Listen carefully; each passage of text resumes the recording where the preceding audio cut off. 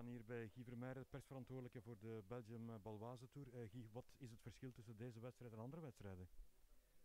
Uh, dit is de eerste um, echte rittenkoers in ons land. Dus dat is, het, dat, is het, dat is eigenlijk het enige verschil. Uh, hoeveel wedstrijden zijn er zo, dit jaar nog? Rittenwedstrijden bedoel je? Ehm, op, op, op het hoogste professionele niveau komt er straks nog de Bing Bang Tour aan. En ja, daar zal bij blijven, denk ik. Uh, deze organisatie is in handen van? Golazzo. En uh, wat is Golazzo? Golazzo is een evenementenbureau dat sportmanifestaties op poten zet in onder meer wielrennen op de weg, veldrijden, atletiek, ehm, massa-events, joggings, toertochten voor uh, fietsers. Waarom is er gekozen voor deze locatie?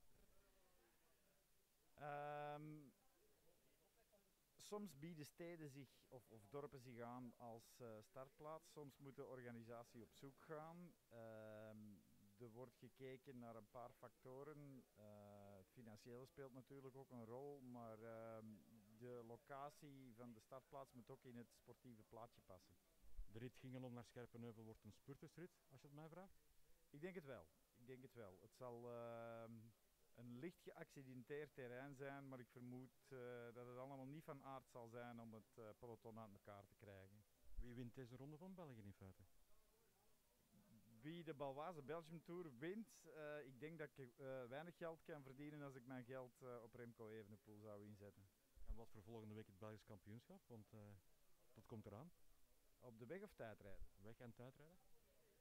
Uh, wat tijdrijden betreft denk ik dat we bij dezelfde naam uh, zullen uitkomen. Uh, op de weg zou het best wel eens kunnen dat Wout van Aert wordt. Oké, okay, veel plezier nog.